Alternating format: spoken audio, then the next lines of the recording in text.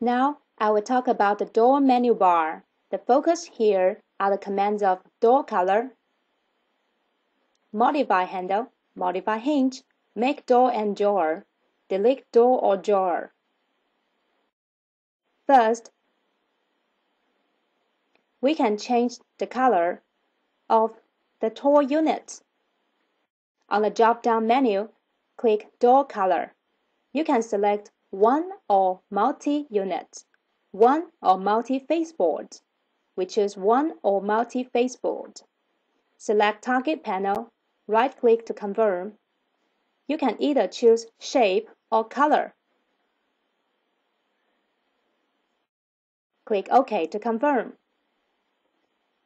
Then, choose to modify a handle here.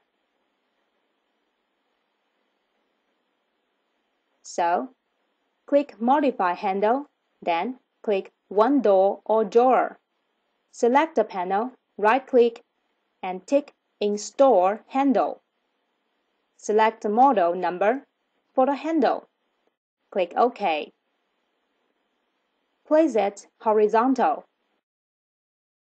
and change its length. Click OK to confirm. Similarly, if you want to delete the handles, just use the same method and cancel the selection of Install. Moreover, click Modify Hinge and click One Door. Then select Proper Hinge Grade. Click OK to confirm.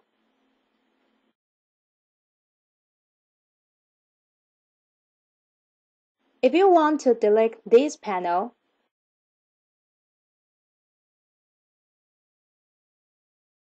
then click Delete Door or Drawer.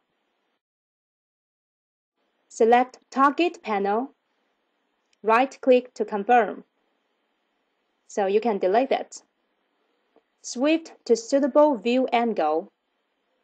So you can pan it or you can also move the unit.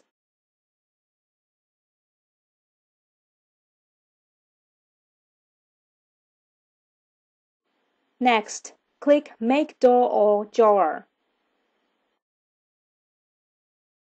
Select panel above the door. Select panel under the door.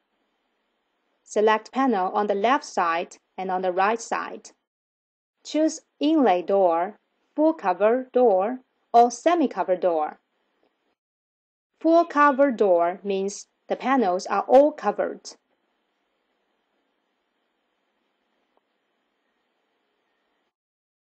Change the drawer depth.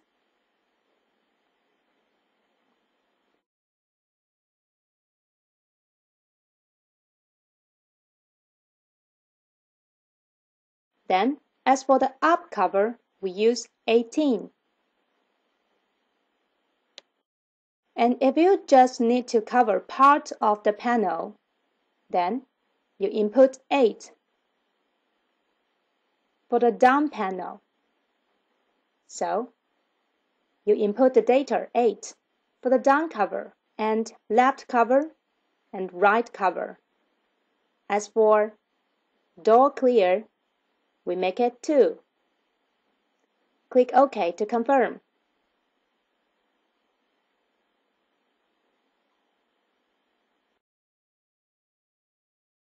So, right-click and select Divide. Select horizontal direction. And unit type, we use drawer. Click OK. Then, we divide it into the upper drawer and down drawer.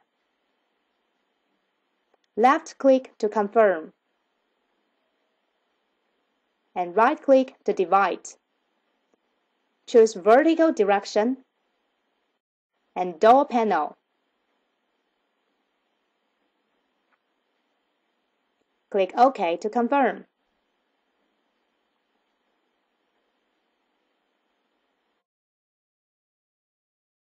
So here we can see two handles of different length.